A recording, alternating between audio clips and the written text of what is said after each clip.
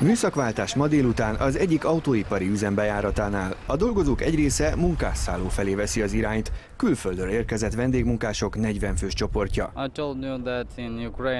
Háromszor annyit keresek, mint otthon Ukrajnában, mondja ez a 24 éves fiatalember, aki villanyszerelő. Hétfőn derült ki, hogy a kormány majdnem 60 ezer Európai Unión kívülinek adna lehetőséget, hogy Magyarországon helyezkedjen el valamelyik hiányszakmában. A nemzetgazdasági miniszter elárulta, hogy hányan jutottak magyar munkavállalási engedélyhez eddig idén.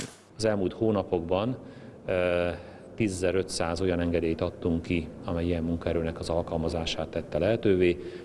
Szeretném hangsúlyozni, hogy a kvóta 59 ezeres nagyságrendű, tehát messze nincs kihasználva. Közben a minisztérium azt írta, több mint 6000 szerb és ukrán állampolgár kapott munkavállalási engedélyt idén.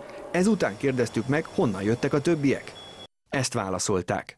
Több mint 700 kínai, több mint 300 koszovói, közel 300 vietnámi állampolgár és további 70 különböző harmadik ország munkavállalói kaptak munkavállalási engedélyt.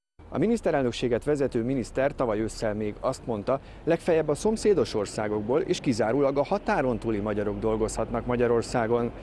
De végül másokat is beengedtek a rekordmagas munkaerőhiányra hivatkozva.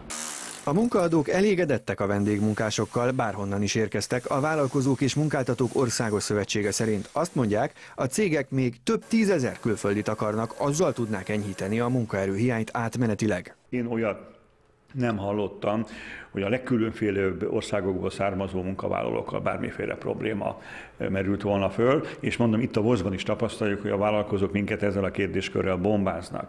A vendégmunkások érvényes úti okmányjal akár tovább is állhatnak Nyugat-Európába. A bevándorlási hivatal azt írja, Schengeni tagállamok területén szabadon lehet mozogni magyar tartózkodási engedéllyel 90 napig.